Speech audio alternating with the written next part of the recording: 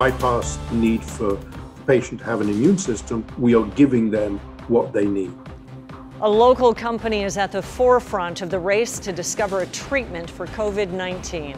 The San Diego based biotech company says it's isolated an antibody that could help fight the coronavirus. Good evening. I'm Kimberly Hunt.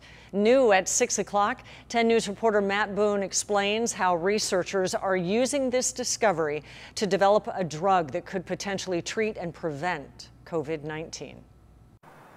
Until recently, Sorrento Therapeutics had mostly focused on fighting cancer. For 11 years, we're exploring this library for oncology drug target. That CEO, Dr. Henry Ji., that library he's referring to is comprised of more than a billion antibodies they've compiled.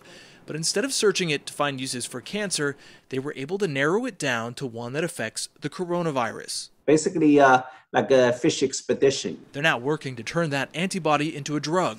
This will be done initially in a very small scale, but enough to treat 30 to 40 very sick patients. Mark Brunswick is their senior VP of Regulatory Affairs who's been communicating with the FDA. And the FDA will review this, and we anticipate starting trials in very sick patients initially in July. Administering a manufactured antibody is similar to the existing treatment called convalescent plasma therapy, in which blood plasma from a recovered patient is given to someone who's sick. But Dr. Ji says convalescent plasma therapy is limited. You have to make sure this person's plasma is neutralizing, blocking the viral infection.